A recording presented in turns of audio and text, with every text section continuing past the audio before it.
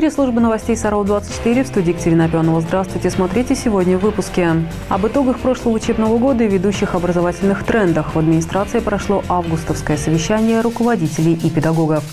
Жизнь инвалидов и их семей облегчат. Об этом заявил премьер-министр России Михаил Мишустин на совещании с вице-премьерами. Далее расскажем по всем подробно.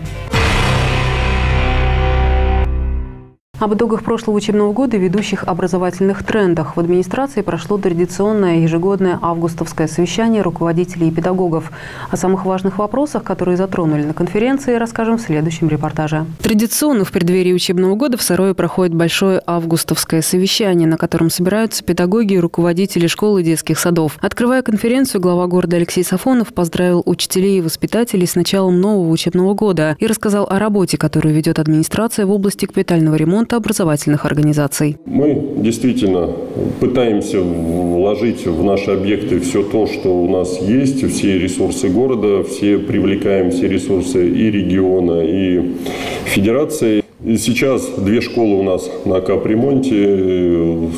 Там сам бываю каждую неделю, понимаю, как это непросто, вот жалко директоров, но вы, ребята, стойкие, все умеете, справитесь. Э, как говорят, ваши дети, наши дети скажут вам спасибо за результаты. Перечень бумаг, которые необходимо заполнять педагогам, ограничили, а понятие образовательная услуга исключили. Это одно из главных нововведений в образовании в новом учебном году. Кроме того, во всех школах страны вводят новый ВГОС, а с 5 сентября по понедельникам в образовательных организациях утро будет начинаться с поднятия флага и исполнения гимна. Об изменениях в учебной системе рассказала директор департамента образования Наталья Володько. Большая часть школ у нас переходит на пятидневку, за исключением с 1 по 9 класс, за исключением лицеев и гимназий. Они остаются на собственное усмотрение, как они переходят внутри, э, исходя из своих образовательных учебных планов. Есть школы, 5 школ, которые переходят на пятидневку и в 10-11 классах. Попробуем, что из этого получится. Кроме того, в Сарое будут создавать сетевую распределяющую старшую школу. Это будет некий образовательный хаб для старшеклассников, где они смогут получить углубленные знания по выбранным предметам. На ближайшем совещании с руководителями школы департаментом образования будут уточнять детали этого процесса. Также среди нововведений внедрение платформ школы Минпросвещения РФ и в ГИС «Моя школа», которая будет единой витриной для учителей, родителей и учеников. При этом Наталья Володько отметила, что перехода к онлайн-обучению не будет. Живое общение учителя и ученика невозможно заменить ни образовательной организации, ни дошкольного, ни э, школьного уровня, да, ни вузовского уровня полноценно перейти на онлайн-обучение не готовы. Более того, реальная потребность глаза в глаза и реальная потребность на результат а, во взаимодействии с учителем, конечно же, гораздо выше и гораздо результативнее. То, конечно, онлайн-обучение это невозможно, поэтому массового перехода никто не ожидает, его и не будет. Также Наталья Володько рассказала об итогах прошлого учебного года. Традиционно саровские школы в топе всевозможных рейтингов и региона, и страны. Баллы по ЕГЭ у нас выше, чем по России, а по большинству предметов выше, чем в области. Проседают пока только литература и информатика. Больших успехов саровские школьники достигли и на Всероссийской Олимпиаде. Следующий элемент – это региональный этап. А, у нас очень высокий показатель в этом году – 145 человек у нас, число фактов, вернее, человек, а число фактов участия во Всероссийской Олимпиаде школьников регионального этапа, из них 85 фактов побед и призеров. А, вы видите, что процент успешности в принципе очень высокий, 58,6. Запись выступлений директора Департамента образования на совещании педагогов смотрите в рубрике «Без комментариев» на канале «Саров-24». Екатерина Пионова, Кирилл Новикевич, Александр Мальков. Служба новостей «Саров-24».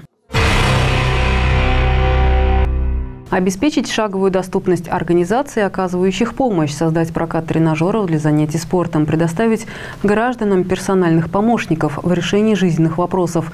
Меры поддержки людей с ограниченными возможностями здоровья обсудил премьер-министр Михаил Мишустин на совещании со своими заместителями. Важно, чтобы организации, которые занимаются оказанием помощи инвалидам, располагались в шаговой доступности, и людям не приходилось ехать на другой конец города, считает премьер-министр Михаил Мишустин. В них должны работать компетентные компетентные сотрудники. Поэтому планом предусмотрено внедрение базовой подготовки, переподготовки и повышение квалификации специалистов. Правительство утвердило план мероприятий, которые направлены на комплексную реабилитацию людей с ограниченными возможностями. Концепцию разработали по поручению президента. Она рассчитана на ближайшие четыре года. Главная задача – создать в нашей стране эффективную систему поддержки граждан с особыми потребностями.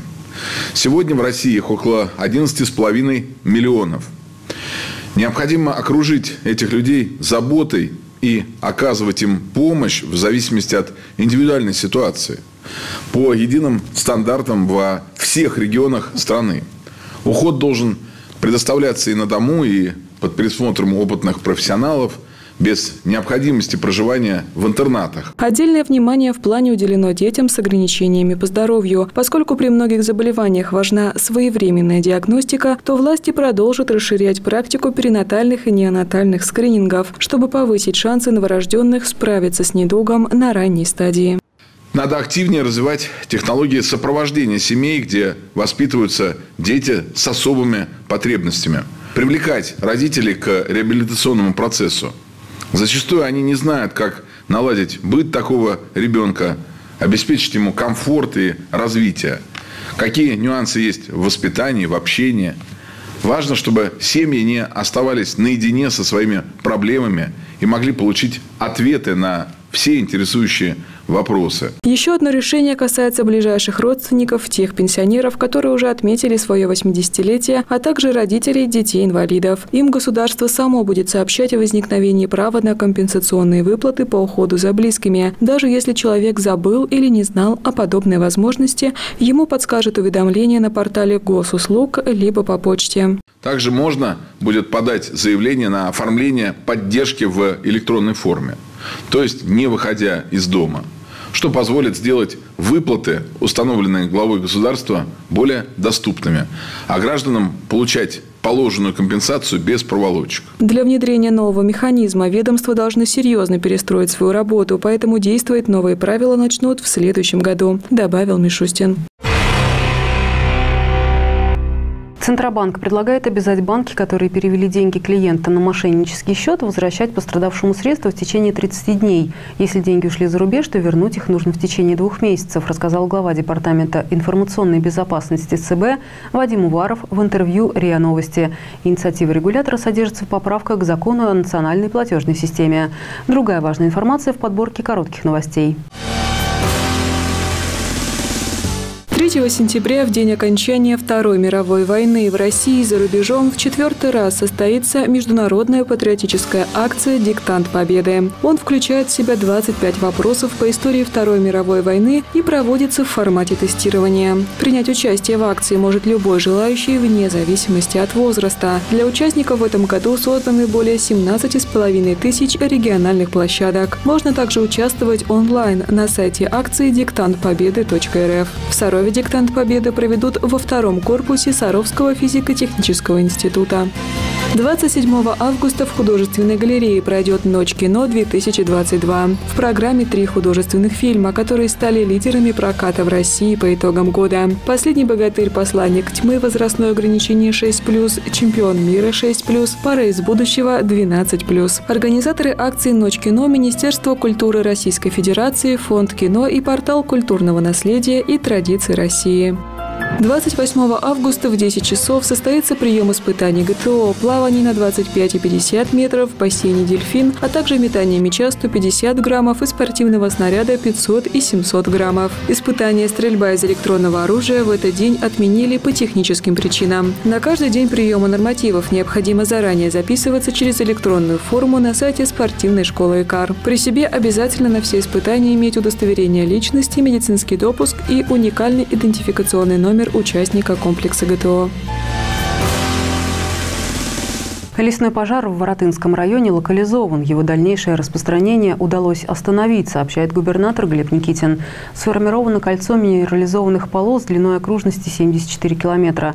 Произведен отжиг от полос. Угрозы населенным пунктам и лесному массиву за пределами опашки на сегодняшний день нет, написал глава региона в соцсетях. По его словам, все силы направлены на ликвидацию возгорания. По данным МЧС, общая площадь, пройденная огнем по лесисто-болотистой местности, составила более 6 тысяч гектаров. В тушении задействованы пожарные десантники из Иркутской области и специалисты из других регионов. Свыше 150 единиц техники, в том числе три вертолета Ми-8 МЧС России. В Крыму завершился масштабный фестиваль «Таврида Арт». На одной площадке собрались 4000 участников из разных городов России, в том числе и Сарова.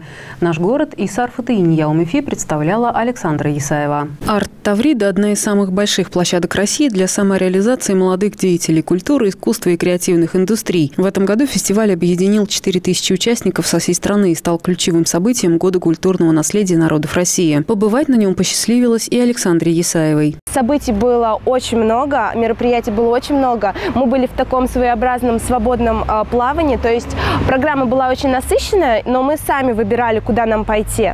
А, то есть это были и лекции, и мастер-классы, регионы очень много организовывали различных э, движух.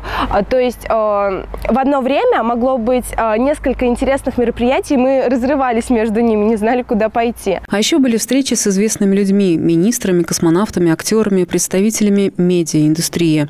Объединила все эти события тема жизни и работы в России. Шоу резидентов в рамках фестиваля прозвучало как манифест молодых творцов против мировой культуры отмены. В первую очередь, Таврида Арт – это история про общение и объединение людей. Вообще, Таврида – это очереди, большие очереди везде. На мероприятия, э, на, значит, на площадку покушать. И вот когда ты стоишь в очереди, э, там, минут 40, ты успеваешь э, пообщаться с людьми из различных регионов. И начиная от Дальнего Востока и кончая Симферополем.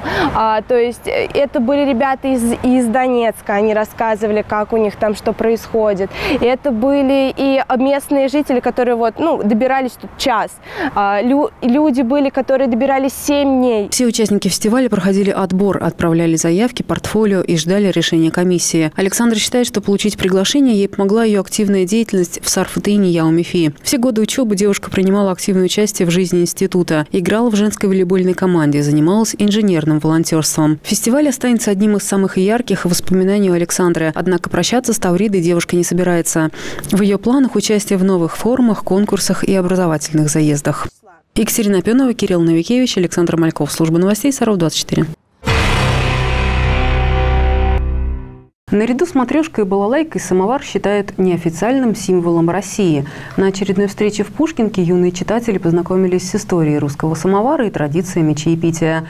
Подробности чайной церемонии смотрите в следующем репортаже. Почти три века самовар считают исконно русским символом гостеприимства и неотъемлемой частью жизни славянского народа. Однако история этого древнейшего приспособления насчитывает несколько тысячелетий. Похожие приспособления были известны еще в доисторические времена. По одной из легенд, на Руси самовар впервые появился в период правления Петра Великого. Однако, если верить историческим летописям, то самовар появился на Руси позднее, в 1740 году. Богатую историю самовара юные саровчане узнали на интерактивной площадке Пушкинки. Ну а мы сегодня с ребятами поговорили о традициях русского чаепития и не только русского. Конечно же, рассказали ребятам об истории того, как вообще чай попал к нам в страну и как появились самовары. Ну и, конечно же, наши маленькие читатели вместе со своими родителями попробовали сами в ходе э, мастер-класса попробовали применить на практике традиции русского чаепития. Самовар, бублики, чай в блюдцах, маленьких чашках или стаканах в серебряном подстаканнике – внешние атрибуты традиционного русского чаепития. Они нередко встречаются в описаниях классиков и на картинах известных художников прошлого. Главное в русском чаепитии – общение. Чай в России с давних пор был поводом для долгой, неторопливой и добродушной беседы, способом примирения и решения деловых вопросов. Прикоснуться к настоящим русским традициям полезно не только полезно, еще и интересно, наверное, любому русскому человеку. Ведь наша традиция, наша память – это то, что нас объединяет, весь наш русский народ. И вот именно в этом, наверное, и заключается суть Дня самовара, который прошел в нашей детской библиотеке имени Пушкина. Завершили встречу чаепитием с баранками и кусковым сахаром. Анна Пилипец, Андрей Махмудов, Александр Мальков. Служба новостей Саров, 24. И это все, о чем мы успели рассказать сегодня. Следите за новостями города в группах канала 16 в социальных сетях ВКонтакте «Одноклассники». Там же вы найдете все информационные выпуски, авторские программы. В студии работала Екатерина Пионова. Всего вам доброго и хороших вам новостей.